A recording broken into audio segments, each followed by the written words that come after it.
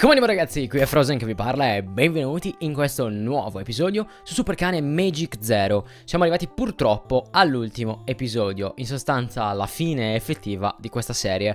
Ho appena notato che però i maghi sono girati, se non dico una cavolata, può essere, cioè sto notando che lei è girata Ok, no, semplicemente non ci dicono niente di nuovo. Nell'episodio di oggi vi voglio dire un paio di cosette extra. Allora, ovviamente abbiamo fatto tutta la serie e in descrizione vi lascio il link alla playlist. Quindi nel caso ve la siate persa potete andare a controllare tutto quanto perché abbiamo fatto grosso modo tutte le cose più importanti. Per quanto riguarda invece le cose che mancano, tipo i personaggi da ottenere, vi lascio in descrizione una facilissima guida da seguire per ottenere tutti i personaggi all'interno del gioco. Potete trovare anche altre guide all'interno della sezione del forum che vi sto mandando. Quindi non preoccupatevi se vi serve qualcos'altro controllate oppure seguite il mio gameplay perché ho mostrato praticamente come fare tutto.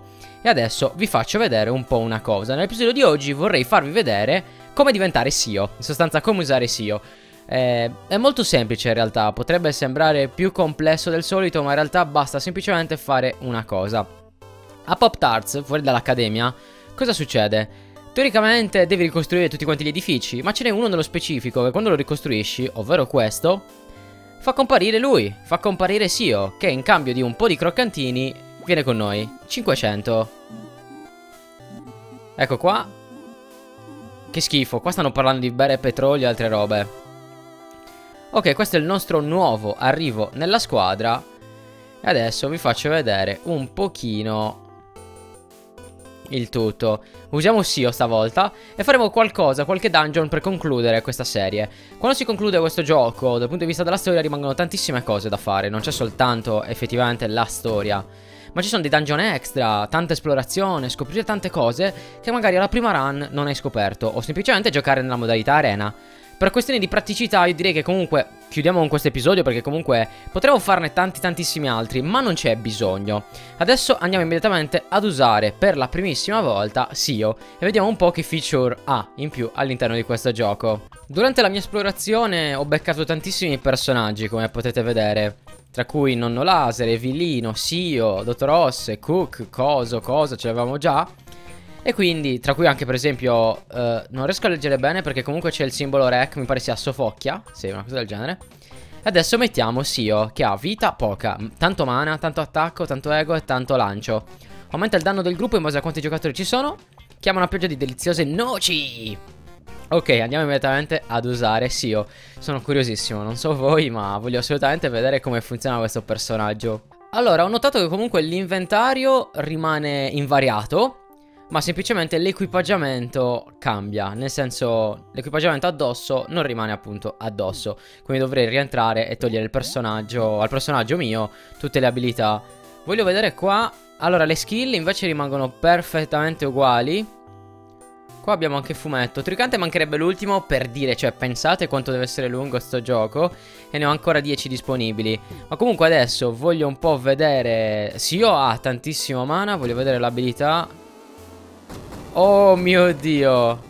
È tipo leggermente OP questo. Oh mio dio. Oh mio dio OP a schifo. Tra l'altro le noci rimangono. Oddio. Oh mio dio. Puoi tirare un botto di roba. Ma quanto è malata come cosa. No vabbè io lo sto già adorando sto personaggio. Ragazzi tanti mi piace. Per Sio e soprattutto a cipigna nei commenti perché sto gameplay è stata una figata. Adesso cambio l'equipaggiamento e facciamo al mio personaggio principale e facciamo una cosa fichissima. Ovvero andiamo a fare il dungeon che vi ho promesso. Ok, facciamo questo. Non è propriamente un dungeon ma è comunque un puzzle eh, abbastanza interessante a mio parere. Quindi tuffiamoci immediatamente nel fare questo. Allora, sto usando Sio, come state vedendo. Gli ho messo finalmente l'equipaggiamento. Però mi sono dimenticato di una cosetta. Cioè che quando vado a mettere le mutande del nonno laser, mi cambia la skin e mi mette quest'altra. Non che mi lamento, eh, no, non posso di certo lamentarmi perché comunque è un'ottima abilità. Tra l'altro, ripeto, se mi vedete camminare sull'acqua non sono diventato Gesù, seppur i capelli siano quelli, ma semplicemente è una passiva che mi permette di camminare sull'acqua per un bel po' di secondi. Mi pare 12 o 15, comunque veramente tanti secondi. Tra l'altro penso che sia una delle passive più utili del gioco per quando si tratta di trasportare strumenti eh, oltre che trasportarli comunque proprio farli arrivare da altre parti della mappa, perché solitamente quando tu trasporti oggetti tipo questo, verde e via dicendo, servono per appunto andare a fare dei puzzle. Una volta finito il gioco, visto che è pieno di questi puzzle, ma soprattutto è pieno di dungeon che ti permettono di fare questo genere di puzzle, tipo tu finisci tutto il dungeon, arrivi alla fine, metti questo e c'è una ricompensa sostanziosa. Perché vi sto facendo vedere però questo nello specifico? Perché a mio parere penso che questo sia uno dei più semplici in assoluto per fare l'equipaggiamento migliore del gioco. Adesso vi faccio un po' vedere. Ovviamente non ho studiato tutte quante le possibilità di drop e via dicendo dei vari punti della mappa, dei vari punti dei dungeon, eccetera. Magari trovando un dungeon più figo, un po' più difficile, da qualcosa di migliore. Ma ho notato che i drop sono francamente sistemati in base al tuo livello. Cioè, in, sostanza, la roba di livello 1, livello 2, livello 3, livello 4, livello 5, livello 6 la droppi salendo di livello. Tipo io ora sono al 55 e droppo roba di livello 5 e di livello 6.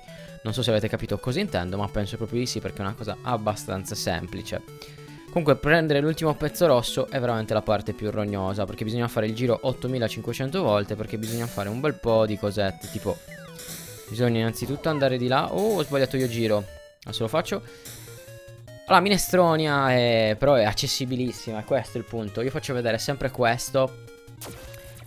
Faccio vedere minestronia. Tra l'altro 50 Cioè È la mia impressione è tantissimo 50 Cioè mi ricordo che facevamo 24 Ma lasciamo perdere Minestronia è il dungeon più semplice secondo me. Dungeon tra virgolette Tante, tante virgolette Chiamiamo puzzle e basta. Perché semplicemente tu arrivi e lo puoi già fare. Certo ti serve la molla Quindi ricordatevi sempre Bisogna avere la molla per fare questo genere di puzzle E farli al 100% Se no non potete. La molla la si ottiene in fumetteria Restaurando la fumetteria Quindi andiamo alla grande. Allora vediamo un po' Se non mi ricordo male dobbiamo fare il giro da questa. Saliamo qua Ogni tot è importante risalire perché purtroppo non è eterno tutto questo. Effettivamente prendere il pezzo rosso è un po' la parte più rognosa. Ah, si è scattato il meccanismo, il meccanismo dove eravamo prima. Adesso ve lo faccio vedere. Ho già fatto vedere questa cosa in un altro video, ma purtroppo una certa è crashata... Non è crashato il gioco, ma è crashato il respawn. Quindi ero totalmente fregato sotto ogni punto di vista.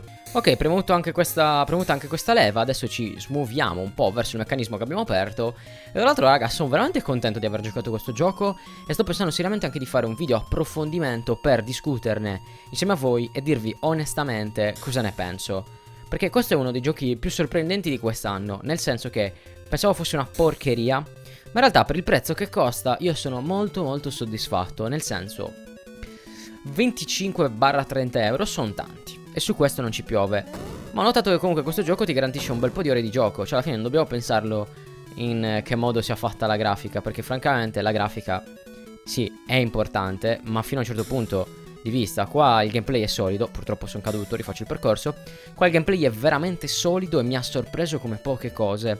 Poi vabbè, ho fatto tanti episodi su questo gioco, mi pare che adesso questo sia l'undicesimo, ma ho fatto anche un dodicesimo episodio che in realtà era l'episodio 0 di un'altra serie dove proviamo i giochi su Nintendo Switch, si chiama Proviamolo su Nintendo Switch, molti di voi già la conosceranno perché la seguono. E francamente io sono, ma vi dirò, molto soddisfatto di come ho avuto modo di provare questo gioco. Cioè, l'ho provato quasi per caso, anzi neanche per caso, l'ho provato per caso, non pensavo che interessasse così tanto, ma a molti di voi è piaciuto talmente tanto che avete voluto un seguito e sono francamente molto soddisfatto di come è proseguito. Adesso andiamo a mettere immediatamente qua l'ultimo.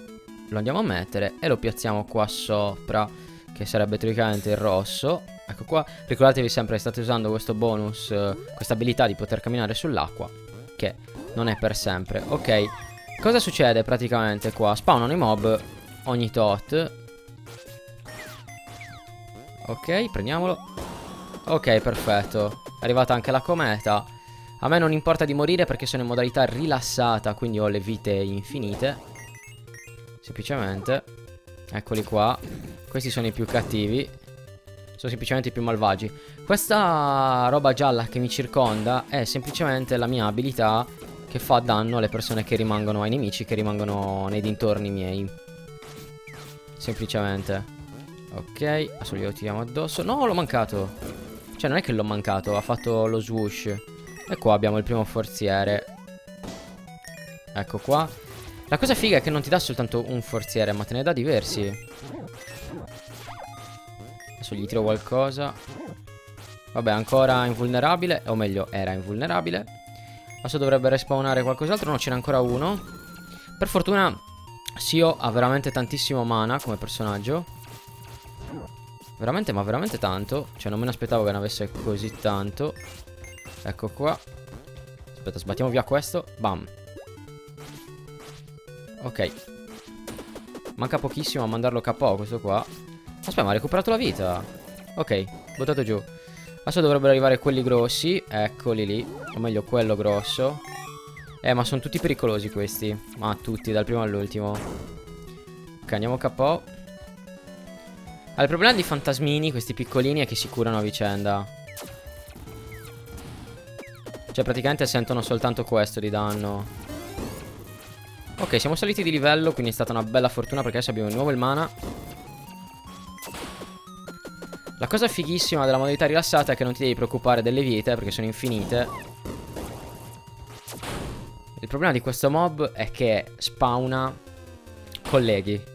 Colleghi che però non hanno effettivamente una vita. E qua ci dovrebbe droppare il baule. Dovrebbe essere questo, il baule figo che ti droppa le cose super giga rare. Eccolo qua, il drop raro. Sigillo del muffin dorato. Mana più 180, ego più 120, rec mana più 30, difesa energia, meteora, fuoco. Adesso lo equipaggiamo. Dovrebbe essere tipo... Ecco qua.